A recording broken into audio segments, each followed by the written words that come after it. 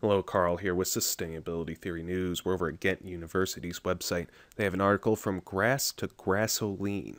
Now, this is in its very preliminary stages, very early stages, but they have found a way to make a very efficient conversion from grass to fuel.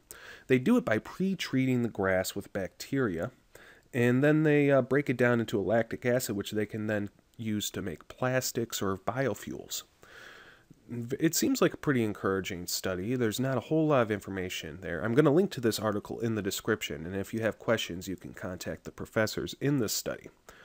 But I am a big believer in using grasses, switchgrasses, or other plants that grow on the marginal lands around the world to create energy with it. So, what you can do is take any plants you have right now, put them in a sealed container, and then they'll break down on their own, producing methane. You can take that methane, and burn it.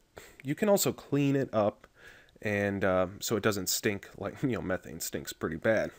But it, I remember one farmer who uh, just took wood chips, broke them down for over a year, producing methane, put it through a fish tank through an air bubbler to just get some of the stink out, and then used it to power a generator to run electricity for his home.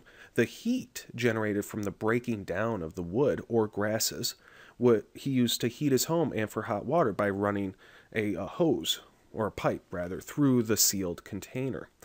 But he also used the methane to power his car with. Uh, he had a diesel truck, and diesel can burn almost anything that's flammable. So there's lots of methods for turning grasses into an energy source. But this one could be beneficial. However, it seems like it could be also somewhat energy intensive through the conversion process. But maybe they recycle some of that breakdown because it's going to create heat during the breakdown process. Maybe you can utilize that heat for many reasons. I'm sure it creates methane in the breakdown process too.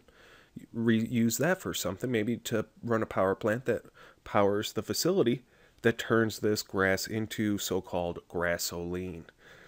Well, I'm going to be following these people. Hopefully, they get a commercially viable product in a couple of years. Of course, the link is in the description. If you'd like to see more news headlines like this, subscribe to my channel.